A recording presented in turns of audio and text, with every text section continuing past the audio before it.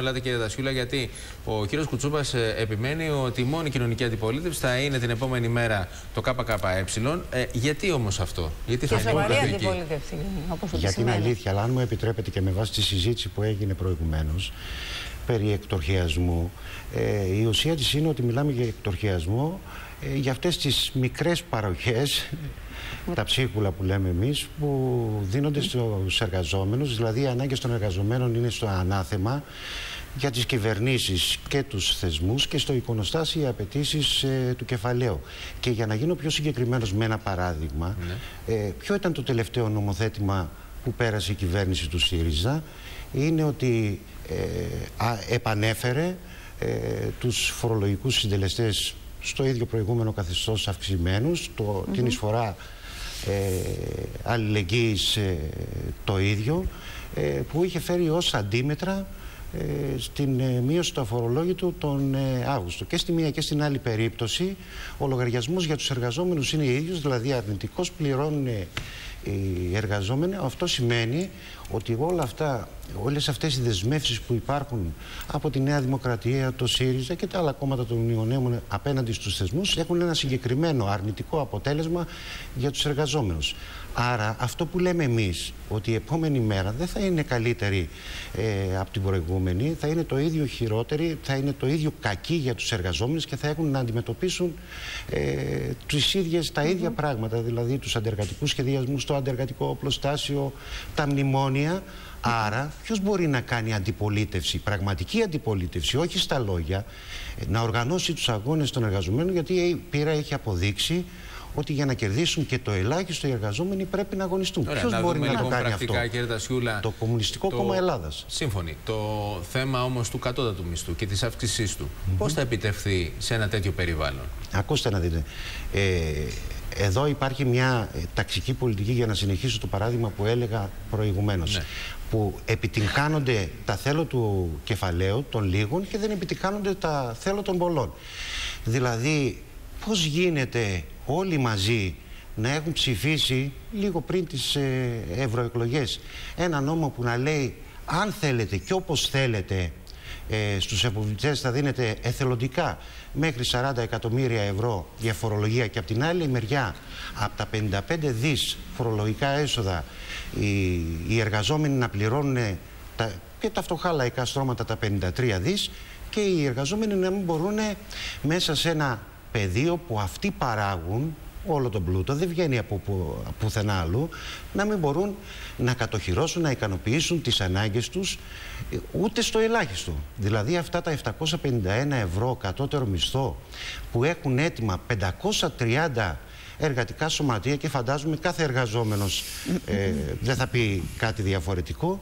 γιατί βρίσκουν απέναντί τους μόνο μπλοκ και τη Νέα Δημοκρατία και το ΣΥΡΙΖΑ και τα άλλα κόμματα που ούτε συζήτηση δεν θέλουν να κάνουν πώς θα επιτευχθεί. Εμείς λέμε ότι αυτό μπορεί να επιτευχθεί μόνο με τους αγώνες των εργαζομένων. Δεν φτάνουν νομοθετήματα, όπως έκανε η κυβέρνηση του ΣΥΡΙΖΑ, που εν πάση περιπτώσει έχουν και έναν μεγάλο αστερίσκο που είναι όπλο στα χέρια των εργοδοτικών οργανώσεων που ακόμα και αν υπάρχει μια σύμβαση ε, που θα ανακουφίζει δεν μπορεί να γίνει υποχρεωτική, δεν μπορεί να γενικευτεί γιατί έχει δοθεί το δικαίωμα ε, στις εργοδοτικές οργανώσεις να την ακυρώσουν, να την παγώσουν ε, μη φέρνοντας το μητρό μελών τους που θα αποδεικνύει ότι είναι το 50% εκπροσωπούν του κλάδου. Άρα πάλι πάμε στο ζητούμενο.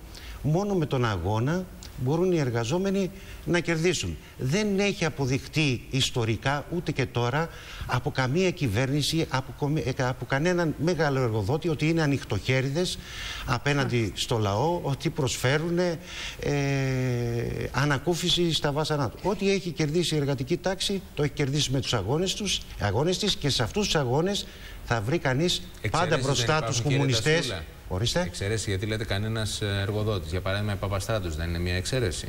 Και εκεί υπάρχει ένα συγκεκριμένο. Όχι, δεν είναι μια εξαίρεση, γιατί υπάρχει ένα συγκεκριμένο καθεστώς από τους οποίους ανεβαίνει ο βαθμός εκμετάλλευσης των εργαζομένων και φαίνεται σαν εικόνα προς τα έξω ότι δίνει κάτι παραπάνω. Ε...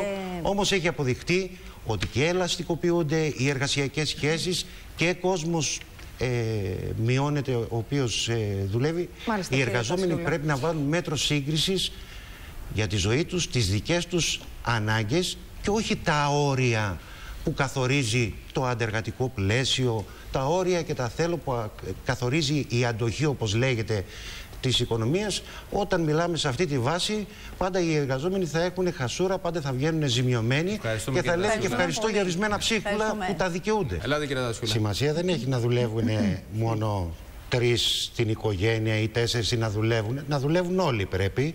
Αυτοί που έχουν ανάγκη για εργασία ίδιο και εννοώ να, κι εγώ. και, να, και να εισπράττουν, να παίρνουν τέτοιο μισθό που να μπορούν να ζήσουν. Να δουλεύουν με σταθερό ωράριο εργασίας και όχι να είναι ε, υποαπασχολούμενοι με διευθετημένο το χρόνο εργασίας ανάλογα το πώς θέλει και πότε θέλει ε, η εργοδοσία. Αλλά μιας και μιλάμε για το ζήτημα, το αρχικό σας ερώτημα που ήταν και κοινό για όλους μας της κλιματικής αλλαγής, μιλάμε για τους παράγοντες που επιδρούν, τη δυσχεραίνουν, την επιβαρύνουν ε, κτλ. Και αυτό το πρόβλημα δεν είναι αποσπασμένο από μια ανάπτυξη, από μια πολιτική που υλοποιείται σταθερά και στη χώρα μας ε, και παγκοσμίως. Άρα τα αίτια πρέπει να τα, ανιζ- να τα αναζητήσουμε σε αυτή την ανάπτυξη. Και το πρόβλημα είναι για τους εργαζόμενους και για τις θέσεις εργασίας που λέει ο ΣΥΡΙΖΑ 500.000 που πρέπει να γίνει κοσμογονία. Ακούγεται αστείο. 500.000 Εκτός ότι αυτές οι θέσεις εργασίας θα είναι α, ε, των, Καλά αμοιβόμενες. των προγραμμάτων. που- Αν ήταν καλά αμοιβόμενες θα ήταν τώρα που ήσασταν κυβέρνηση. Ε, άρα το ερώτημα, το πραγματικό είναι ανάπτυξη από ποιον, για ποιον. Και εδώ το Κομμουνιστικό Κόμμα Ελλάδος έχει μια εντελώς ε, αντίθετη, ριζοσπαστικά, πραγματική α- φιλολαϊκή πρόταση για τους εργαζόμενους Μάλιστα. από ό,τι έχουν όλοι οι άλλοι. Που λέει ότι η ανάπτυξη πρέπει να κινείται με γνώμονα τις ανάγκες των εργαζομένων και όχι τα κέρδη των λίγων. Πώς θα κερδίσουν από την ανακύκλωση, πώς θα κερδίσουν από τη διαχείριση των απορριμμάτων, πώς θα κερδίσουν από τις επιχειρήσεις και οι εργαζόμενοι συνεχώς Ευχαριστώ βγαίνουν πάρα από πολύ. όλες.